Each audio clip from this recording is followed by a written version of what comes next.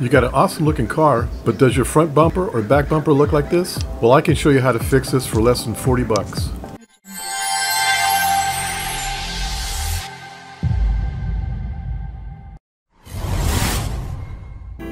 The reason why your car looks like this is because, just like me, your deductible is $500 if not more. And your gut is telling you to fix this is probably less than $200, $100. And you know what? You're right. And that's how car insurance companies or auto insurance companies make their money. Let me show you how to fix this for less than 40 bucks.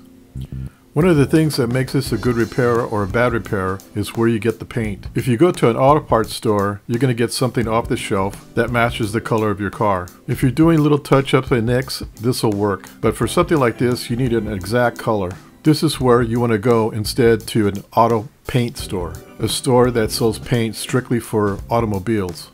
So instead of forking out money to your insurance company, let's get started so I can show you how to keep that money in your pocket. Okay, the first thing you're going to do is look for the body color or code number. Usually it's on the door jamb somewhere.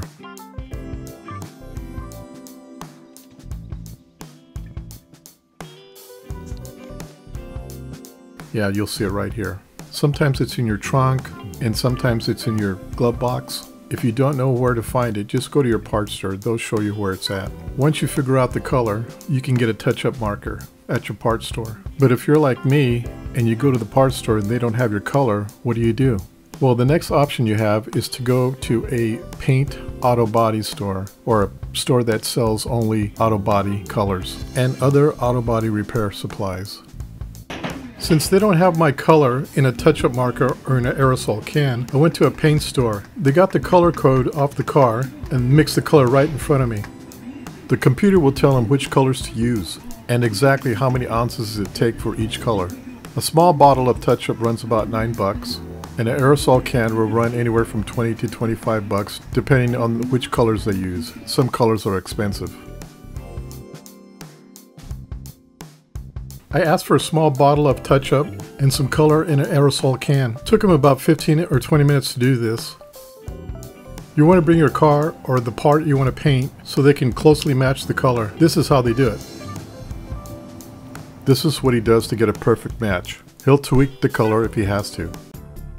Alright, now that you got your color, now it's time to get to work. I'm taking some lacquer thinner. I'm going to wipe down all the areas to remove all the grease and grime and dirt.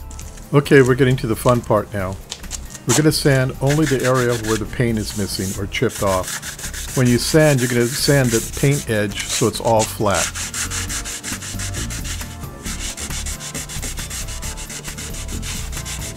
You'll want to use a foam sandpaper. I got this at the auto paint store. It ran about a buck. It's an 80 grit.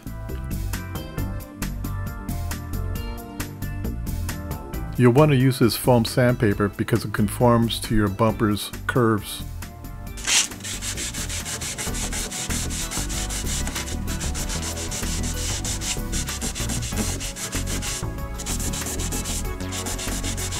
Use your hand or fingers, you'll feel that it's all blended in. This is the only sanding you'll be doing. It's that simple.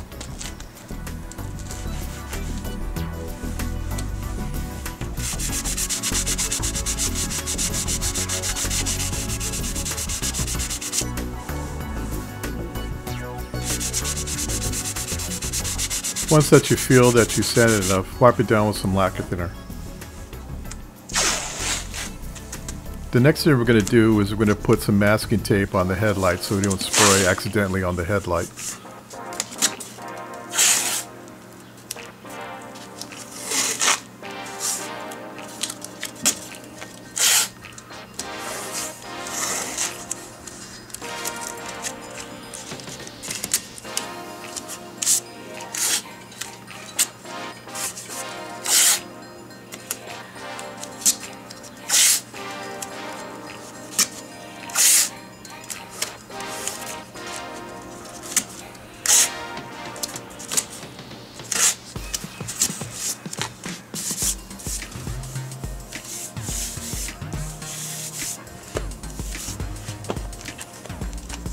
Okay, now we're ready to use our custom spray color.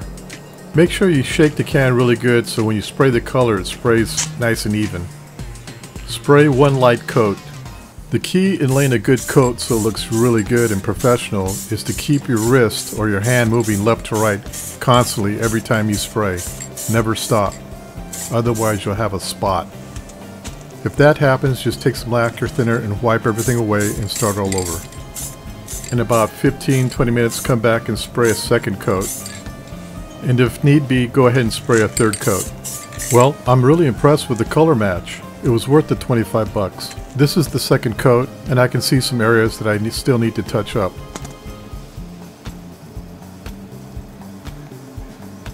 Well, it looks like I'm all done. What do you think? I think it looks great. And this only cost me, gosh, I think I only spent less than 40 bucks and spent not even two hours on it. This is real easy to do. Plus I saved a lot of money. And you can too. If I can do it, you can do it. Not too bad, huh? Don't let the insurance companies take your money. Do it yourself and put the money in your pocket.